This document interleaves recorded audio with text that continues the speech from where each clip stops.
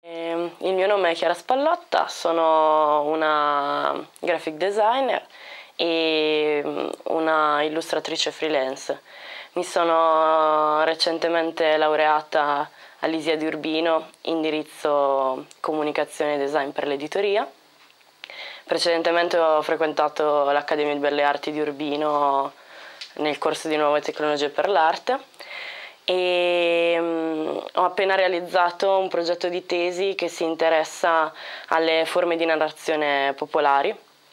Eh, in particolare sono, ho ricercato quali erano gli idiomi, i modi di dire nati più recentemente nel mio paese e ho cercato di ricostruire qual era la maniera in cui si erano imposti e mm, instaurati all'interno della mia comunità.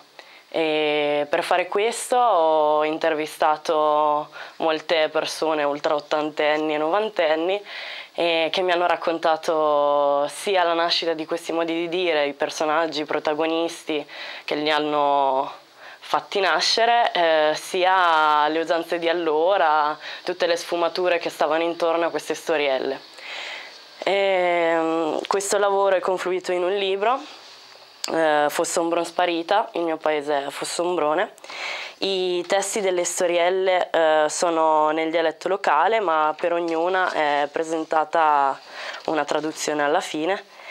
E, um, per ogni modo di dire viene eh, spiegato che cosa vuol dire e da dove viene molto brevemente e poi viene questo, questa origine viene eh, spiegata meglio al, con una storiella da me illustrata. Le, I colori che ho scelto sono il blu e il rosso. Ho cercato di non usare troppi colori eh, per non eh, appesantire queste cose che sono dei ricordi in un certo senso, questi concetti. E um, ogni eh, strofa eh, viene interrotta da delle, in, dalle interviste a queste persone, di cui ho riportato anche il ritratto ogni volta. E mm, la storia si svolge così, eh, le illustrazioni sono state realizzate eh, raccogliendo foto dell'epoca e facendomi spiegare come erano i luoghi e come avvenivano determinate cose. Ci sono dei bei paesaggi che ho ricostruito con l'aiuto di degli storici e di gente che ha ricordato come erano determinati luoghi, di cui non c'era fotografia e di questo sono piuttosto contenta. E il lavoro è molto piacevole da leggere perché è scritto nello stesso italiano colloquiale con cui si esprimevano queste persone che mi parlavano e mm, questo è altro modo di dire, altre illustrazioni, altri luoghi, altri personaggi, altre narrazioni.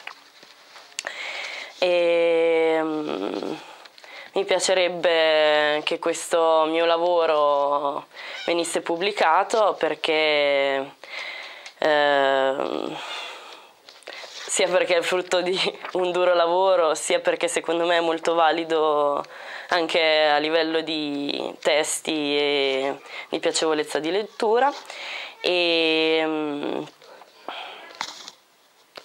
um, su per giù è tutto qui, intendo uh, abbandonare in parte la progettazione grafica per dedicarmi all'illustrazione nei prossimi tempi e questi sono i miei propositi attuali.